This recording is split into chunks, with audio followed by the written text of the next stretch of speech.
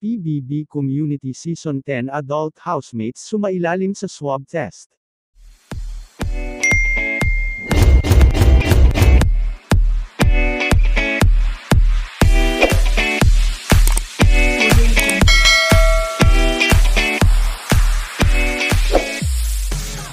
Dahil marami sa kanila ang nagkakasakit. May COVID positive kaya sa kanila o baka makansela ang kanilang edition. Sa pagtututok natin sa Kumu live stream ng Pub Community Season 10 ay narinig natin na nag-uusap sina Isabel at Michael tungkol sa kanilang masamang nararamdaman. Tila gumising ng masa ang pakiramdam ng lahat ng mga housemates at naghahanap ito ng gamot para maibsan ang kaning nararamdaman. Nabanggit rin ni Michael na masakit ang kanyang lalamunan.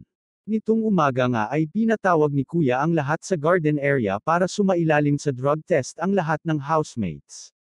Pwede nga bang makansela ang kanilang edition? Para sa iba pang mga balita, huwag kalimutang mag-subscribe sa ating channel para updated ka sa mga balita.